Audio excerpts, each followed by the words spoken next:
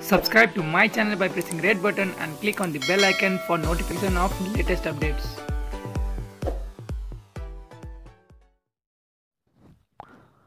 भारतमा corona virus covid उन्नाइसबाट सङ्क्रमितको सङ्ख्या एक हजारजनाभन्दा बढी पुगेको छ त्यस्तै मृत्यु हुने मानिसको सङ्ख्या पनि चौबिस पुगेको छ कोभिड उन्नाइस इन्डिया डट ओआरजीका अनुसार भारतमा समग्र सङ्क्रमितको सङ्ख्या एक हजार उन्तिस पुगेको छ।